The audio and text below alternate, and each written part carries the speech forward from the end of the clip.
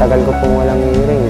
Siguro kailangan ko na lang pong tanggapin to, ganun. Hindi pa rin po naman ako nawala ng pag-asa.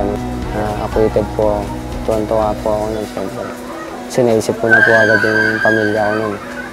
Makakasama ko na po sila. At tumulong po sa akin sa ideals. Maraming maraming salamat po. Hindi ko po makalimutan yung gumawa ng sa akin.